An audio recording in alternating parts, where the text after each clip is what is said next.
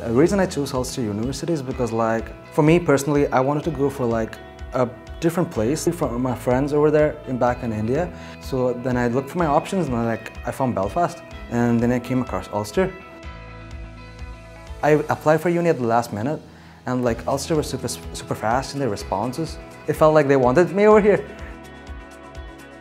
I did my undergraduate uh, in Bachelor's in Computer Applications in India.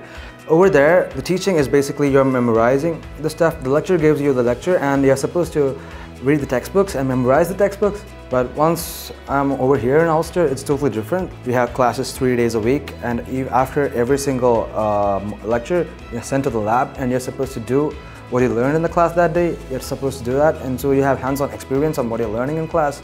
It's all, assignments and research papers and literature reviews, which are way better than exams. So actually you're doing, putting an effort to research into topics. You're learning more on the way rather than memorizing stuff. So yeah, that's a totally different experience for me over here and it's a very good experience as well. As being a, part, a computer student, the labs over here are accessible to us 24 hours and we could go there do our coursework or any work we have pending any time of the day we want. The library has a wide collection of stuff and like it's up to date. You get all the new relevant materials you want for your works. The campus offers a lot of activities. You have activities I think every single day. If you come to campus you can find something or the other going on and you can be a part of it. Like the next good thing is like the food. We have like a lot of options over here. So if you're hungry between want to grab a bite, just head downstairs. You like have any food options you want, any type of coffee, name it, you get it over there. There's a lot to see over here. In this one month, I went to like uh, Giant's Causeway and it was a very good experience as well because like I'm an outdoorsy person and like I like to explore a lot. And I was surprised to find there's actually a very good beach over here.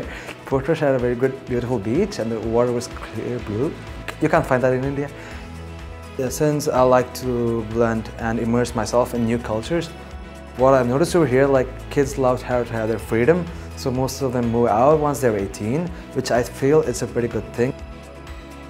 If you're someone who loves to interact, get around with people, if you can manage both your work and your other activities, Ulster is a grand place to be in.